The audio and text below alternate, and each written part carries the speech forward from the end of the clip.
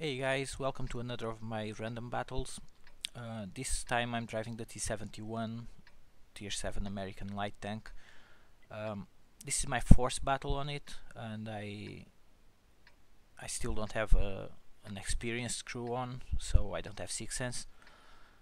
We're playing on Siegfried line, defending, and I'm gonna do a standard recon run on our right flank just to see what's uh, what's on the other side of the of the ridge there. I tend to play this tank uh, not very passive but not really aggressive. Uh, I tend to hold back and just try and protect myself.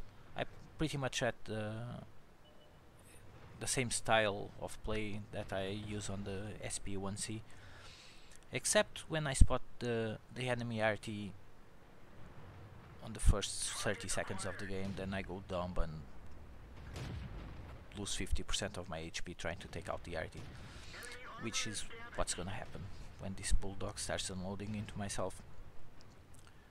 Uh, I got some terrain between me and the bulldog uh, right now. He lost about 50% as well. He takes another another hit from the tanks that are behind me. Uh, this M6 takes the chance because I'm not paying attention and it puts another shell into me so start of the battle didn't go that well. I did get lots of spots but I lost pretty much all my HP. I'm now one shot for pretty much everything on the battlefield maybe except the T-37 cannot kill me with one shot. Uh, that 1375 is gonna take out the the bulldog, and I'm gonna try and uh, and spot something else, or take some shots on the flanks of those uh, those heavy tanks on on my left. This was a really good matchup, uh, being only a tier 8 uh, battle with only 3 tier 8s on their side one of them being the arty that was uh, spotted and already eliminated. So I take out the, the ARL and now I'm considering uh, moving behind their lines and start starting to unload on all those heavies. I'm just worried that I might still be spotted when uh, after I kill the the 44 but eventually I'll, I'll make my run uh, always bearing in mind that there's an unspotted OI there that may have some some cover between me him and myself and I may be spotted right now. So I'm gonna get this bunker and the OI if eventually gets spotted on the other side. And I'm going to take out the T150 with half my clip then I'm going to unload the rest on the IS I could have prioritized and unloaded fully on the IS but I could secure a kill and that's what I went for. I'm on the reload. Uh, I will hang about, uh, wait what, to see what happens to the IS, but eventually I just give up because it's gonna get killed eventually, and it does by the WZ-111. Uh, I will move towards the the E1 area, try to, to spot their remaining arty.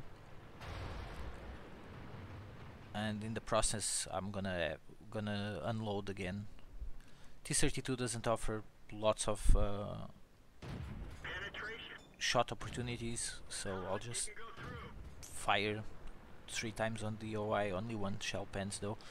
I do reload again and pretty right about here shell flies over so I know I was spotted so I'll just keep moving. Prevent that arty from taking me out because it only needs to splash me. T32 uh, moves into the 1375. I'm going to try and support. I'm loaded, so I got some easy flank shots. And I do put some shots into the T32, but I, I'm not able to save the 1375. I wouldn't be able to save him anyway. And right now I'm gonna load my first HEAT clip T-32 was getting shot from this side, so I just assume you will come for me or try at least to close the distance. So predicting that I'm going to engage him frontally, I just load heat. That does not happen. He will get spotted and is going to be driving the the other way. So I got easy shots.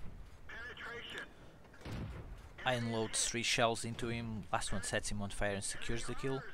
I, and I could have reloaded by now. I know there's there's nothing, that's just an arty that I'll be the one spotting most likely. And I could have switched back to APCR shells, but I'll just leave the heat clip on. I do forget to press 1, so if these 3 shells are, are not enough to kill the M12, and they, they're not because I missed the first one, I should have reloaded the APCR and make that last kill, uh, let's call it cheaper. But I forgot about it, so I just kept loading it, and I do get to secure the last kill of the game which was expensive. Uh, those shells, uh, those heat clips are really, really not cheap.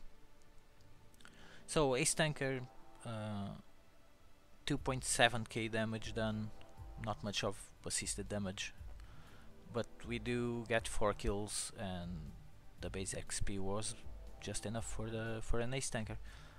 Lost 7k, which is not that bad, and uh, given the outcome, I'll take the win, I'll take the ace tanker, I don't really care about the credits. Alright, thanks for watching, catch you later.